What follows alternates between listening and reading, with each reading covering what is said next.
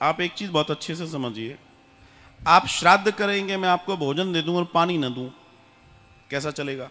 भोजन देने से वो पुष्ट होते हैं, लेकिन जब हम अपने पितरों को जल देना बंद कर देते हैं, वो उल्टे धीमे धीमे ऐसे उल्टे होने शुरू हो जाते हैं, और उनका उल्टा होने का मतलब आपका उल्टा।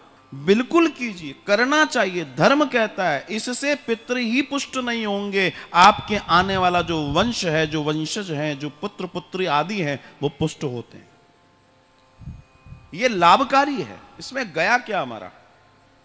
कुछ भी नहीं जाने वाला। बल्कि इससे आपका शुद्धिकरण होगा, आपका मानसिक बल बढ़ेगा, आपको पितृ बल मिलेगा।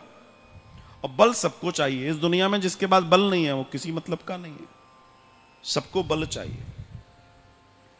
ये सबको करना चाहिए।